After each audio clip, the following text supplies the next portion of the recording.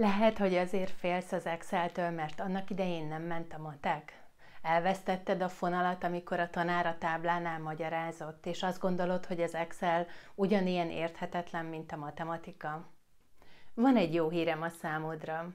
Az Excelben is csak a négy alapmatematikai műveletet használjuk, azaz az összeadást, kivonást, osztást, szorzást, vagy úgy is mondhatnám, hogy csak a józan paraszti észre kell építeni. Ez pedig neked is megy, vagy hogyha nem, akkor egy kis gyakorlással könnyen fejlesztheted. Mondok pár példát, hogy elhidd nekem. Például elmész vásárolni a boltba. Egy liter tej 300 forintba kerül, te pedig három tejet szeretnél venni. Mennyit fogsz fizetni? Ugye? Ez általános iskolás matematika, talán első osztály. Három tej, az háromszor 300, azaz 900 forint. Egy egyszerű szorzás. Hogyha mellé még veszel tejföld, ami 150 forint, akkor az már egy összeadás lesz.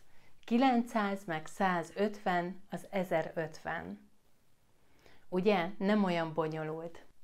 Tegyük fel, hogy mást nem veszel. Mész a kasszához, van egy ezeresed meg egy 500-asod. Az 1500 forint. Ezzel fogsz fizetni. Mennyi a visszajáró? Ravasz kérdés, kivonás a válasz, de ezt te is tudod. 1500-ból 1050, az 450. Nincs itt semmi ördöngőség, ezt te is tudod. Ami a nehéz, hogy ezeket a műveleteket átfordítsuk az Excel nyelvére. Ehhez érdemes egy picit megtanulnod, hogy hogyan működnek az Excel képletek, és mi az Excel logikája. Az Excelben ugyanis, hogyha megtehetjük, akkor nem írjuk be újra és újra a számokat, hanem különböző cellákban helyezzük el a már ismert értékeket. Utána ezekkel a cellákkal végzünk műveletet, és ugyanúgy, mint ahogy egy számológép is ki tudja helyettünk számolni a végeredményt, úgy az Excel is kiadja az értékeket. Az Excel előnye, hogy bármikor meggondolhatod magad. Tegyük fel, hogy nem három tejet veszel, hanem csak kettőt vagy négyet, akkor nem kell előről kezdened a számítást, hanem csak átírod a cellával a darabszámot, és a szorzás már rögtön a végeredményt mutatja. Magyarázó videókat itt a csatornámon is találsz, sőt, föltettem néhány egyszerűbb feladatot is, amit velem együtt meg tudsz oldani, így be tudod gyakorolni az alapokat. Nézd meg lent a videó leírásában a linkeket, és kattints tovább azokra a videókra, amelyek a legjobban érdekelnek ezen a ponton. Mint mondtam, a siker titka egyedül a gyakorlás. Van egy kimondottan kezdők számára íródott feladatsorom, ami több mint 60 példát tartalmaz.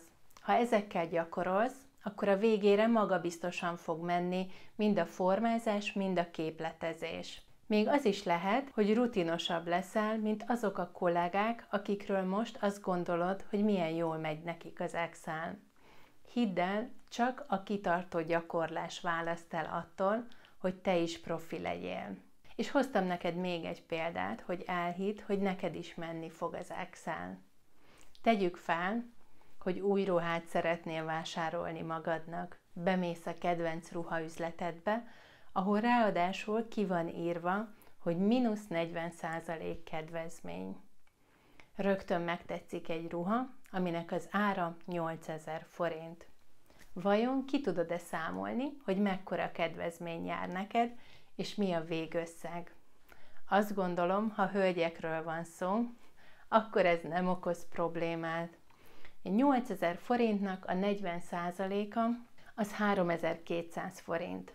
Hogyha levonom, ugye megint egy szorzás és egy kivonás a matematikai művelet, a végeredmény 4800 forint. De másképp is közelíthettél volna. Ugye a 100%-ból kapsz 40% kedvezményt. Azaz, a végösszeg, amit ki kell fizetned, az 60% lesz. 8000-nek a 60%-a az 4800 forint. Ugyanazt az eredményt kaptuk. És nézzünk még egy példát. Van egy másik ruha, ami 10.000 forintba kerül, 30% kedvezmény jár rá. Akkor a végösszeg 7000 forint lesz. hiszen 3000 forintot, a 30%-ot vontuk le, vagy a 70%-ot számoltuk ki, ami 7000 forint. Tegyük fel, hogy mind a két ruha nagyon megtetszett neked. Szeretnéd mind a kettőt megvenni. 7000 meg 4800, az 11.800 forint lenne. Viszont a pénztárcádban csak 10.000 forint van. Akkor meg tudod venni, vagy sem. Elérkeztünk egy következő műveleti csoporthoz, ami az összehasonlítás. Biztosan emlékszel erre is, hiszen annak idején még az alsó tagozatban erről is volt szó. Ezek a kacsacsőrök, azaz a kisebb, nagyobb, kisebb egyenlő, nagyobb egyenlő, egyenlő vagy nem egyenlő összehasonlítások. Márpedig jelen esetben sajnos a pénztárcádban lévő 10.000 forint az kevesebb, mint amennyibe a két ruha kerülne. Azaz mind a kettőt így nem tudod megvenni. Persze fizethetsz a bankkártyáddal. Ahogy mondtam, a legfontosabb az, hogy ilyen és hasonló példákon keresztül elsajátítsd azt a rutint, hogy hogyan tudod a problémákat lefordítani az Excel nyelvére, és megfelelően berögzíteni az adatokat, illetve beírni azokat a képleteket, amelyek számodra ki tudják számítani a végeredményt. Ehhez pedig sok-sok gyakorlás kell, amihez ajánlom neked a kezdő Excel feladatsort. Ha pedig szeretnél egy tanár folyamatos magyarázatai mellett tanulni, úgy, hogy bármikor kérdezhess tőle, akkor szeretettel várunk az egyéni oktatáson is. A lényeg, hogy ne gondold azt, hogy neked nem megy, hiszen megy. Ez csak egyszerű gyakorlás kérdése, és hogyha egy kis időt rászánsz, leülsz egy papír mellett, végig gondolod ezeket a problémákat, akkor neked is egyértelmű, hogy milyen egyszerű számítások vannak a feladatok mögött. Jó gyakorlást kívánok, legyen a barátod az Excel.